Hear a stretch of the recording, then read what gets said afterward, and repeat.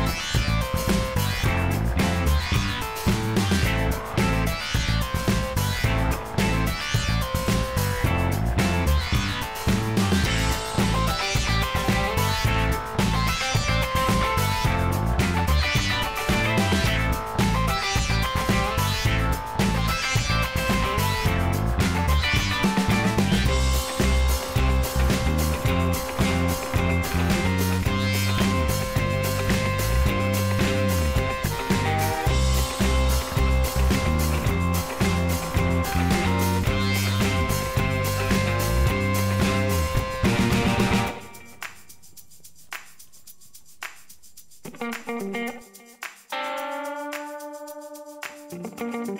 you.